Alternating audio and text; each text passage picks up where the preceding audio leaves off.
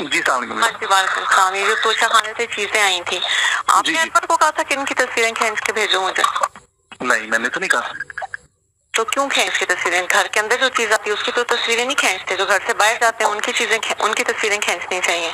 सिर्फ़ ये था कि मेरे पास आ रही है क्यों तस्वीरें खींची जा रही है? नहीं मुझे मैंने नहीं कहा था दीदी। मैंने कहा था इनाम ने कहा है और मैंने उसको भेज दी है। नहीं नहीं, दीदी बिल्कुल भी नहीं इस तरह नहीं आप होल्ड करें। जी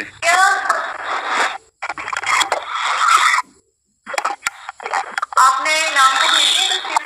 वो कह रहे हैं मुझे तो नहीं भेज नहीं भेजी है लेकिन मैंने कहा नहीं। नहीं नहीं भेजी है लेकिन मैंने नहीं कहा। तस्वीरें खींचने को।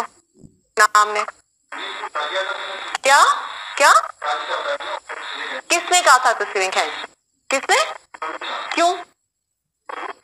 कौन क्या सबूत? घर के अंदर आने वाली किसी चीज़ की तस्वीर नहीं खींचते क्योंकि वो मेरे पास आ रही थी।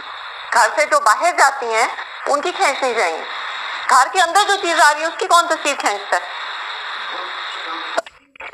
किस चीज़ का प्रूफ क्यों? आपको क्या ज़रूरत है प्रूफ करने की? आपने मेरे से पूछा है?